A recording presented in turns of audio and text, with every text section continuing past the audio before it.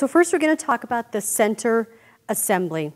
And you can see here I have the center and I've added these borders, I've added the ribbon borders, and I've also added the one on the, on the other end here. And let me show you. So to finish this off, we would add this one here, and then that little corner unit that we made.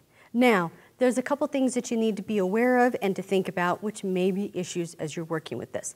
Because this is all on the bias. It's not adding a straight grain line border. You may run into problems. For example, if I fold this over, this might be too long.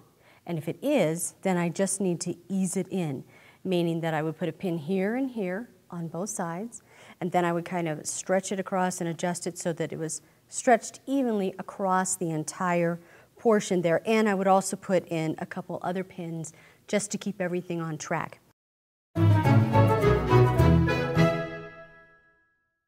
This episode of Ribbon Floral Block of the Month is brought to you by Benartex, fabric for quilters by quilters.